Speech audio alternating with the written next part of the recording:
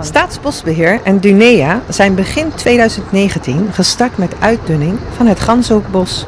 Het Ganzenhoekbos bestaat grotendeels uit dennenbomen.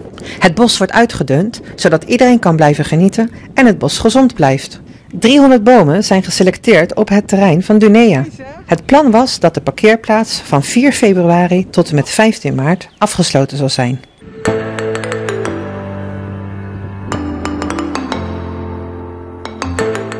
We zijn in Wassenaar en wegens bosonderhoud is de parkeerplaats langere tijd niet bruikbaar geweest.